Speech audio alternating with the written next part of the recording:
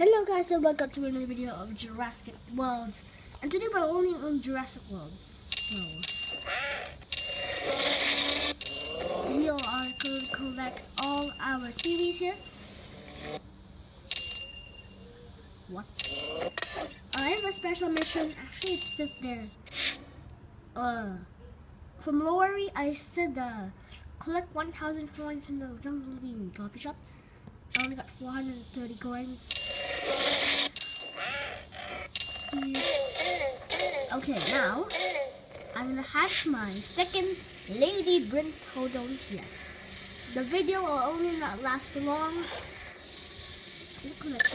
And I'll see you later, okay? So guys, my second Ladyrinthodontia is here. Now I'm gonna feed it since. And I also upgraded my food facility center, so I got many food already. I'm can activate it again, but I need more coins, so I don't matter about that. Um, um, I'm gonna collect, I already collect my mystery pack, so activate this.